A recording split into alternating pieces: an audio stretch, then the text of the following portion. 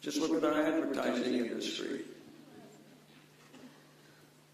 So understand one thing. You have all the rights. So I knew I was not a criminal. I knew that long ago. And like Thoreau, when I went to prison, I didn't feel fear. And I, I looked at the bars and I said, well, this is a dark age we're in, that's all. What can I do? Thoreau said the same thing. He said, I never felt any, anything except, uh, uh, you know, that I can't communicate with my fellow townsmen. Well, let's get back to some things now that are more germane to Armenians. Um, still connected with the Ninth Amendment, I promised uh, uh, Mr. Raffi Hovannisian that I would mention this in the speech, that Armenia has a unique opportunity, I think, to lead the world. A little country like Armenia, lead the world. That's historic. By putting into its constitution the Ninth Amendment of the American Constitution and making it active, not like ours, which has never been used. Now, I mean, you could lead the world in, in rights and democracy and freedom. But you've got to avoid corruption, which I think is the problem there.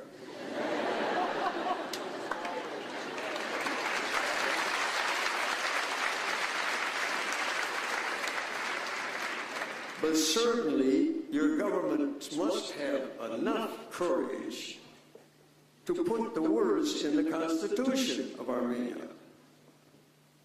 I don't think so, but I hope, I hope, and hope is a universal liar.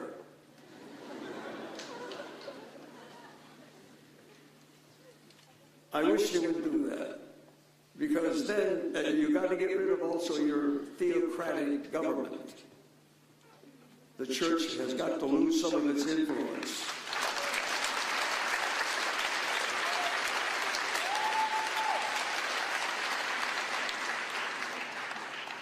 I remember once when I was at a uh, show, and, uh, and the speaker, when I was a kid, I didn't understand much of it, but I studied a little Armenian, so I, it's really quite a beautiful language. And uh, I was talking to the Derhai's daughter, and uh, she said uh, she, was very, you know, uh, very well, faithful Christian. I looked at her square in the face. I said, "So you all, all, all men are your brothers?" Yeah. I looked at her I said, "Is a Turk your brother?" She couldn't answer it. I, I, felt bad because she was frustrated and, and couldn't, didn't know how to handle it. But you see, the, we're living in lies. This is the point. We're not realists. Let's Armenians get realistic. We're a small country. We don't matter much in the world today. What we're becoming is a colony of the American Empire. And this is uh, because America is developing an empire. You know, it's part of the, part, part of the policy. I, I suppose, now I may not hit some of the topics that you want me to mention, but that'll come in the question and question answer period. some more points to bring out. Um, the, the, Patriot Act, I was in prison when that was uh, promulgated. I knew immediately it was, it was uh, unconstitutional. It was a word for word copy of the Nazis' Enabling Act.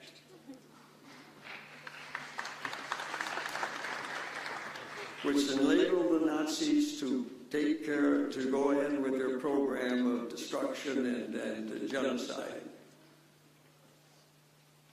And we have it now in America.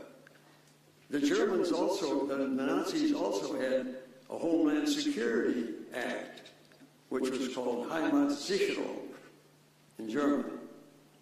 Same words as we have. We're following in the Nazis. Rand knew we were becoming totalitarian. She warned us we're sliding into totalitarianism, but it's a different kind. It's not the raucous, uh, uh, uh, noisy uh, uh, totalitarianism of delinquent youths. It's more genteel, soft, cryptic. But it's happening. We are now at a period in American history of what is the antithesis of democracy. Plato said it. The founding fathers knew it. That perpetual warfare is a sure and is a sure and certain way to kill democracy. And that's what we have. America is the biggest warmongering nation in history right now.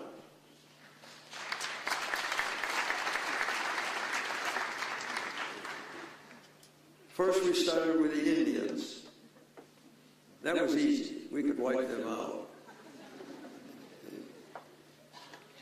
And then we started shenanigans, like the uh, Mexican War that uh, Thoreau went to jail for. Because he said, he said if the American people were aware of this, they would never, they would never allow it, the Mexican War. Because President Polk was suspected of having provoked the Mexicans to attack us so that we could have the public behind us when we go to war. Doesn't that sound familiar? The same thing happened in World War II. I was a 13 year old in 1941. And when I read what the Americans, what Roosevelt was demanding of the Japanese, I said, well, I would fight too, rather than willingly go back to the Dark Ages. They had to give up their military industry, go back to farming, pull all, all their troops out of the lands they conquered, all out of China, pull them back. That was a sure invitation for Japan to attack us.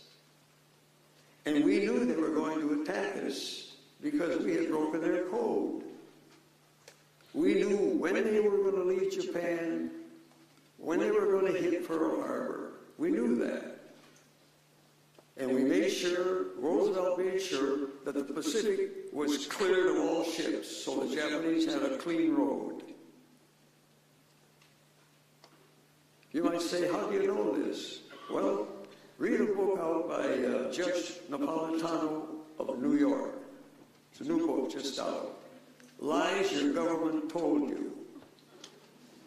That's how we got into World War II because Roosevelt wanted us to get into the war against Germany. That was the enemy. And he used it because Japan and Germany had been united by treaty. So he knew that if he could provoke the Japanese to attack Pearl Harbor, the American people who were against the war before that, who said, keep us out of war, and Roosevelt lied several times, saying, your son, I will not send your boys to another war. He lied. He knew he was going to do it.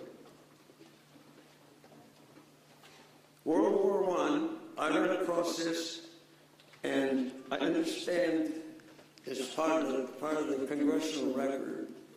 Churchill supposedly said in 1936 that England was ready to make peace with Germany in April of 1917. And then what happened? America entered the war. Kept it going for another several million dead. And eventually the formation of Nazism and communism, all of that stuff. America is a duplicitous country and a very amoral.